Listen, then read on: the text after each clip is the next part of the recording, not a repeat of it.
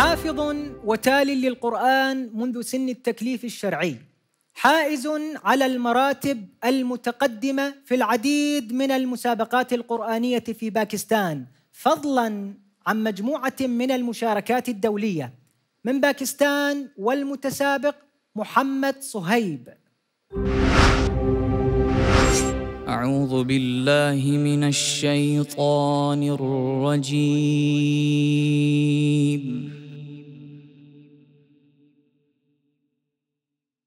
بسم الله الرحمن الرحيم.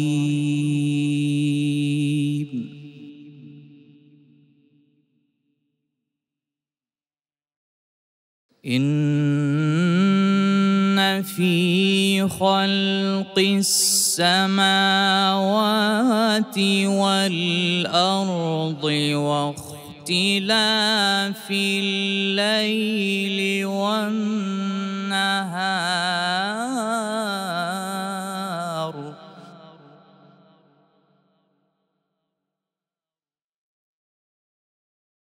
واختلاف الليل والنهار لآيات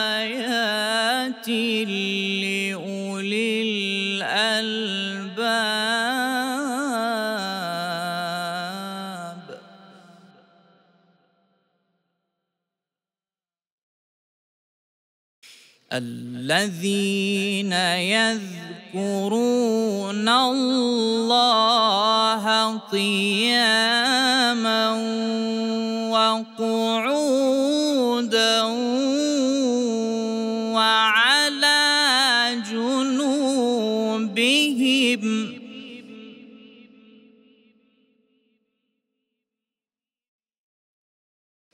ويتفكرون خلق السماوات والأرض ربنا ما خلقت هذا باطلا سبحانك.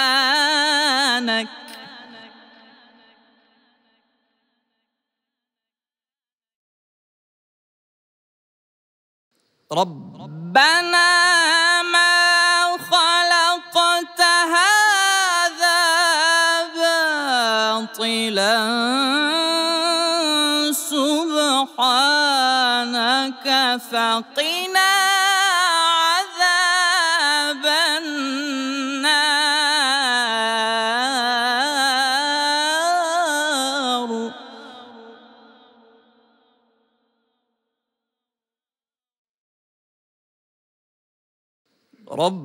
ربنا إنك من تدخل النار فقد أخزيته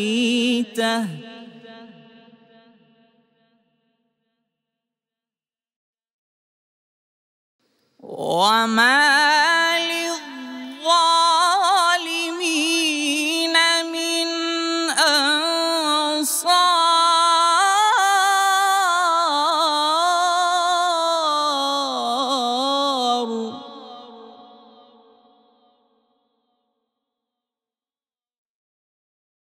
ربنا إننا سمعنا مناديا ينادي للإيمان أن آمنوا بربكم فآمنا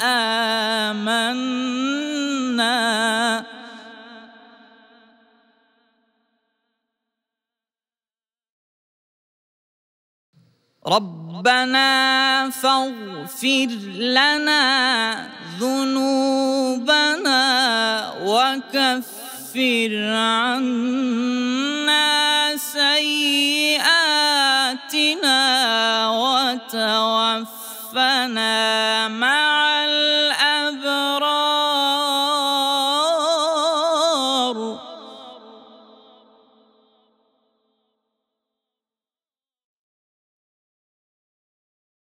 ربنا وآتنا ما وعدتنا على رسلك ولا تخزنا يوم القيامة.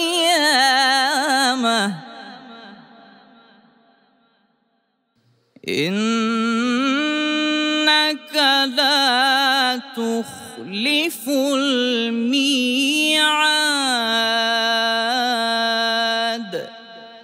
صدق الله العظيم.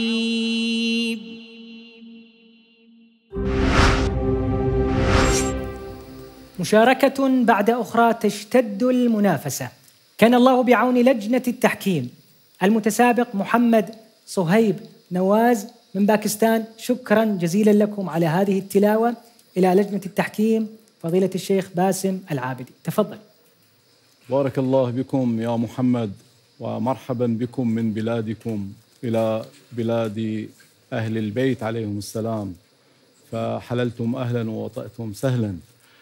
قراءتكم وتلاوتكم كانت جيدة إلا في بعض الوقوفات وقفتم في مواضع ومواطن تحتاج إلى دقة منكم. مثلا أنتم فصلتم بين اسم إن وخبرها وهذا غير جائز في آه، علم الوقف والابتداء.